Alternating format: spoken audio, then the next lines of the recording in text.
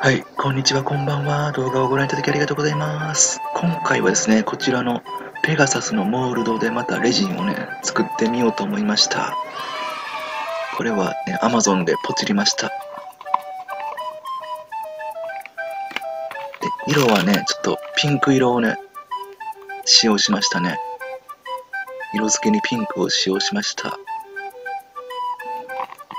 けどね、今思えばね、ちょっと色がね、薄かったんですよね。あと一滴ぐらいインクを足せばよかったなとね、思いましたね。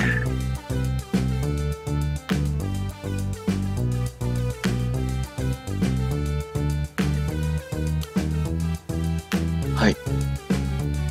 ちょっと細部までね、レジンが行き渡らないんでね、スポイドを使ってね、羽の先やら、足のつま先にはね、スポイドでレジンをね、流し込みました。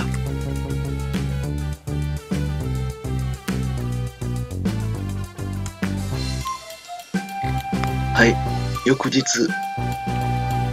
固まりました。ツルツルツヤツヤにね、仕上がりましたね。また脱形もね、しやすいんですね、これ。スルッと脱形できます。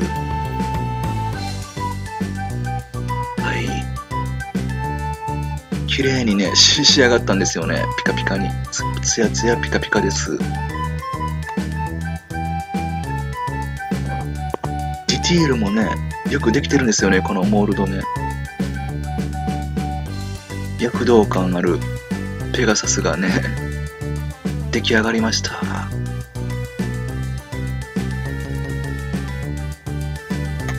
これほんと綺麗なんですよね。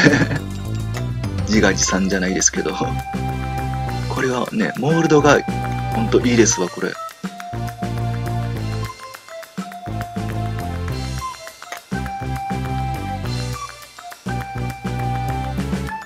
はい、ブルーもね、作ってたんですよね。ブルーもピカピカツヤツヤに仕上がりましたね。気泡もなく。